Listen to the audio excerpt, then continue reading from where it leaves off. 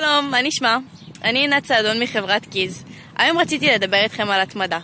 כמה פעמים קרה לכם שהיום אמרתם, היום אני מתחיל דיאטה, היום אני מתחילה תוכנית אימונים, היום אני מתחילה ללמוד את השפה הרוסית. ואחרי באמת שבוע, שבועיים, שלושה, שהתמדתם והצלחתם ובאמת עבדתם קשה, פתאום משהו קרה. הגיע איזשהו רגע, אתם לא יודעים בדיוק לשים את האצבע על מתי זה קרה, מתי השתנתה המחשבה שלכם, ופשוט הפסקתם. הפסקתם באותו רגע. עכשיו, באתם עם כל הכוחות שלכם ועם הכל, ועזרתם באמת את ההתחלה של השינוי. והכל ככה, איך אפשר לומר, התפרק. אני רוצה להגיד לכם, זה לא חייב להיות ככה. שינוי יכול להמשיך לפרק זמן מאוד מאוד גדול, אם הוא הופך להיות חלק מהחיים שלכם. אתם רק צריכים את התוכנית המתאימה.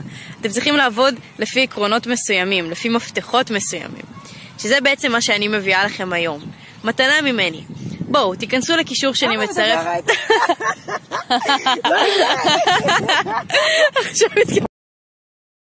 נהניתם? הצטרפו לסדנה לגרום לקהל שלכם להיות איתכם בכל מצב, פנים מול פנים.